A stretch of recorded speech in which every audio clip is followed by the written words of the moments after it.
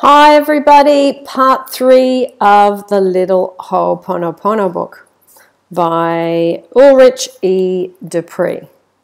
Okay, so the power of forgiveness. Destructive thoughts about past events improve neither the world nor our life in it. Quite the opposite, the smouldering fires of old disappointments, of annoyance and rage, or a toxic metal cocktail composed of jealousy and resentment only to make the heart heavier and gloomier. We tend to turn around away from people who have the smell of sarcasm about them. Once upon a time, there were two monks who, in the course of their wanderings, came to a river. Sitting there was a young woman who said, I cannot swim. If you, O worthy sages, also want to cross this river, I would be very grateful if one of you would carry me over. One of them said at once, Come and climb on my shoulders. And together all three crossed the river. On the other side of the river, the woman bade them goodbye, and the monks travelled on. They did not talk, but one of them seemed troubled by something.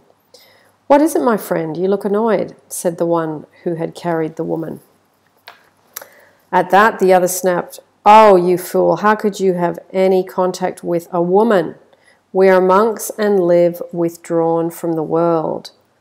To which the other replied, It is true, I have carried that woman across the river, but from what I hear, it seems to me that you're carrying her. Forgiveness releases us. It frees us from a burden that either we cannot carry or do not want to carry.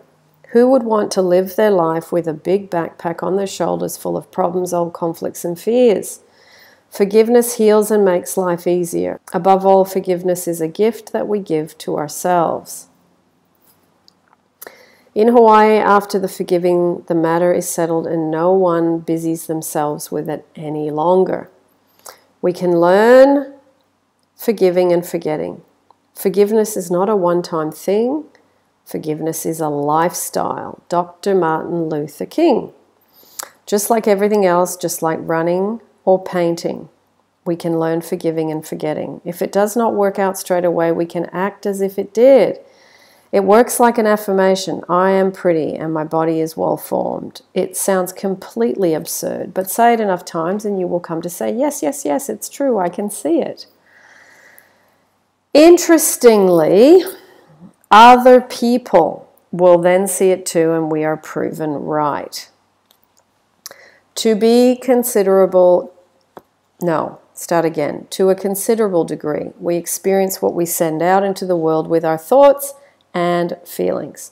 The world seems to resemble a great mirror, for it reflects whatever it is we feel deep in our hearts. When we feel sympathy, we increase the happiness of this world. When we think negative thoughts, we increase the pain. Okay, so that's part three, Ho'oponoponopono. And I will read you part four very, very soon.